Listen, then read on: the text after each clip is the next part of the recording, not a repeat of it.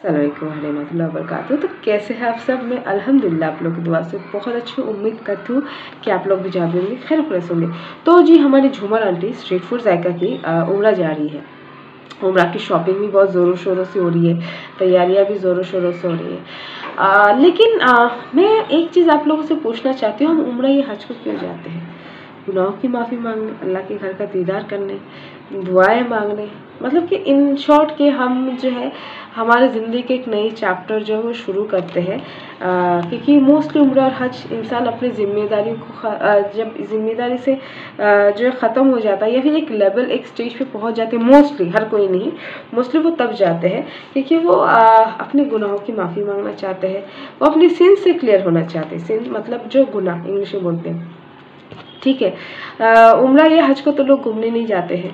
सो so, मैंने ये चीज़ सुना है और देखा भी है। आ, जो लोग उम्र जाते हैं उम्र या हज को जाते हैं वो लोगों को माफ़ करते हैं माफ़ी तलाबी करके जाते हैं कि भाई मेरे से अगर कोई गुना हुआ तो माफ़ कर दिल दुखाया है। या फिर किसी ने मेरा दिल दुखाया तो मैं जो है माफ़ कर देती हूँ ऐसा। लेकिन आ, हमारी जो झूमर वाली आंटी है उनके लिए उम्र जाना मतलब एक टैग लगाना समाज में कि भाई मैं उम्र जाके आई हूँ। एक मतलब पैसा आ गया तो लोगों को तो दिखाना पड़ेगा कि भाई मैं उमरा जाके आई हूँ। तो वो एक टैग लगाना है ऐसा है, क्योंकि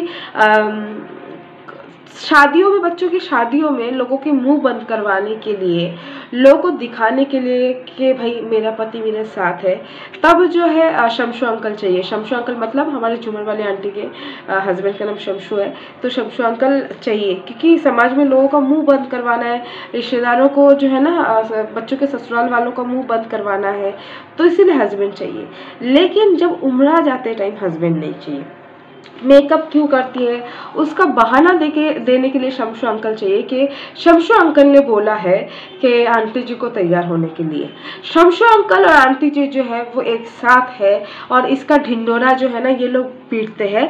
लेकिन बातों बातों बोलते हैं ना कि चोर जो है ना चोरी करने के बाद चोर भी अपने एक छाप छोड़ जाता है। आ, ये मेरे सब्सक्राइबर ने जो है मुझे रिमाइंड करवाया कि कुछ दिन पहले के व्लॉग में पापड़ जन्नी के व्लॉग में नून ने क्या बोला था कि आप एक इंसान के लिए क्या खाना बनाओ? क्योंकि शेरू भाई को जो है वो क्या घोटाला तो बना के दे ही दिया था नूर के लिए क्या खाना बनाए? भाई, तुम तुम्हारे लिए क्यों बनाओगे? तुम्हारा ससुर भी तो है तुम्हारे घर में खाना खाने के लिए। अकेले इंसान कैसे हो गए? तो तुम्हारे ससुर जी भी तो है ना? तो उनके लिए भी तो खाना बनाना चाहिए। खैर, गया।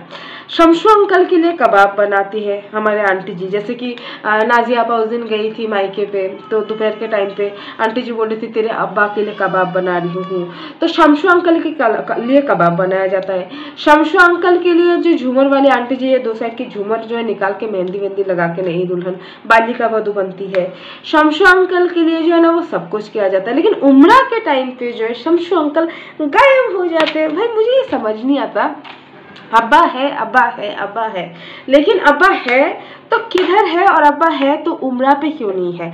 अब कल के शेरू भाई के व्लॉग में, शेरू भाई अब्बा के रूम पे बैठ के वो लोग कैरम खेल रहे थे और पूरा एक भाषण एक भाषण जो है, पंद्रह बीस मिनट का एक अच्छा खासा खासा भाषण जो है शेरू भाई और रियाज की तो गलती थी, लेकिन उस गलती के ऊपर एक पंद्रह बीस मिनट का अच्छा खासा भाषण देके भी व्यूज़ कमा लिया शेरू भाई ने। लेकिन वो लोग जो है, भाषण देते टाइम कमरे में थे।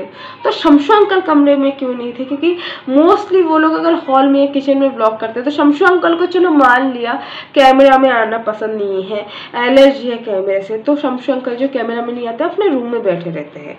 तो जब कैरम खेल रहे थे शमशु अंकल के रूम पे तो शमशु अंकल क्यों नहीं थे? क्योंकि वो कैरम तो शमशु अंकल का है, और शमशु अंकल जो कैरम खेलना उनको पसंद है, जहाँ तक मुझे पता है। तो शमशु अंकल है तक है कहा? और मान लो तुम लोग जो भी बोल रहे हो तो झूठ बोलो सबको पता है कि अब्बा तो है नहीं है, है बोल के जो तुम लोग समाज का जो है सब्सक्राइबर का मुँह बंद करवाने की कोशिश कर रहे हो लेकिन बोलते हैं झूठ ज़्यादा दिनों तक जो मतलब सच ज़्यादा दिनों तक छुपता नहीं है और झूठ जो है ना वो अपना रंग दिखाई देता है। तो आ, ये तो हमको पता चल ही गया कि शमशु अंकल जो है तुम लोग के साथ क्यों नहीं रहते। और शमशु अंकल इसीलिए तुम लोग के साथ नहीं रहते। ये जो तुम लोगों के जो चिलगोजेपना जो है ना ओवर स्मार्टनेस दिमाग ज़्यादा चलाना शातिरगिरी इन इन शॉर्ट तुम लोग जो खुद को बहुत बिग बॉस समझते हो या फिर बिग बॉस के घर के कंटेस्टेंट समझते हो बहुत प्लानिंग प्लॉटिंग दिमाग लगाते हो तुम लोग का जी कूटनीतिपन है। जो तुम लोग महा मतलब क्या बोला, चलो किसी रिलीजन का नाम लिखे अभी भी नहीं बोलोगे, फिर इस पर कमेंट आ जाएँगे इनका नाम नहीं लिखे बोलना चाहिए। तो तुम लोग जो कूटनीति में माहिर हो ना, शमशु अंकल का जो दिल है ना, वो बहुत बड़ा है। जितना मैंने सुना है, काफ़ी लोगों के मुँह से सुना है। सिर्फ़ एक इंसान के मुँह से सुनती तो अलग बात है, काफ़ी लोगों के मुँह से सुना है कि शमशु अंकल का दिल बहुत बड़ा था। तो जो दिलदार लोग होते हैं ना, वो ऐसे कूटनीति भरे लोगों के साथ नहीं रह पाते। और मुझे लगता है कि झूमर आंटी की इसी हरकतों की वजह से जो है ना, शमशु अंकल ने झूमर आंटी को छोड़ा।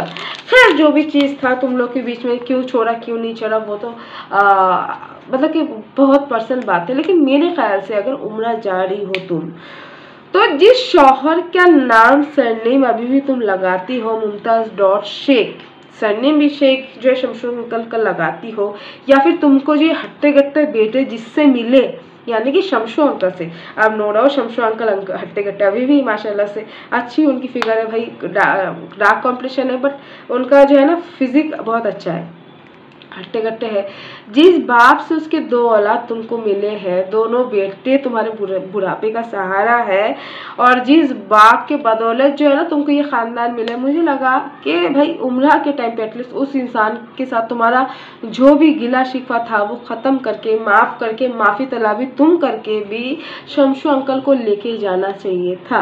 क्योंकि जिस इंसान ने जब तुम कुछ भी नहीं थी, तब अगर तुम्हारा हाथ थामा, तुमको दो वक्त का खाना खिलाया, सालों सालों साल तक उस नाम के सहारे, उस इंसान के नाम के सहारे जो है तुम रही, अब तक तुम रह रही हो, उसी इंसान के औलादों के सहारे जो है तुम जी रही हो तो मुझे लगता है कि उस इंसान का भी तुम्हारे कमाई की उम्र में जाने का हक बनता है। और तुम्हारे जो ये छोटा दिल है ना, वही दर्शाता है कि शमशु अंकल जो है तुम्हारे साथ क्यों नहीं है? क्योंकि अगर अब्बा है तो अब्बा कहाँ है? सिर्फ़ शादियों के टाइम पे ही हाजिर होते हैं बाकी टाइम पे क्यों नहीं? बाकी टाइम पे इसलिए, शादियों के टाइम पे इसीलिए हाजिर होते हैं क्योंकि लोगों का मुँह तो बंद करवाना है ना भाई। लोग तो सवाल पूछेंगे कि बच्चों के अब्बा कहाँ है?